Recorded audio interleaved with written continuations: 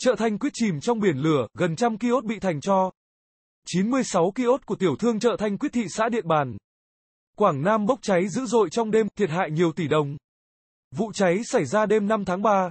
Một số người dân phát hiện ngọn lửa bốc lên trong chợ Thanh Quyết thôn Thanh Quyết 5. Xã Điện Thắng Trung, thị xã Điện Bàn kèm nhiều tiếng nổ lớn. Do trong chợ có nhiều vật dụng dễ bắt lửa, nên chỉ ít phút sau, đám cháy đã bùng phát dữ dội và lan sang hầu hết các kiosk trong chợ.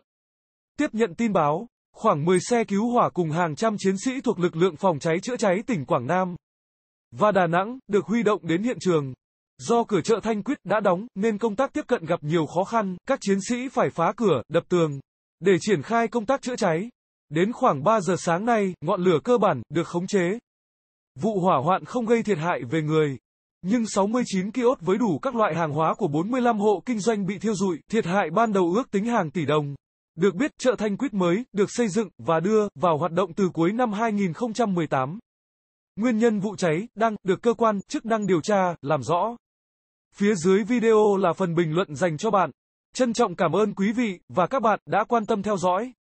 Xin hãy cho một lượt thích chia sẻ và đừng quên bấm nút theo dõi kênh xin chào và hẹn gặp lại.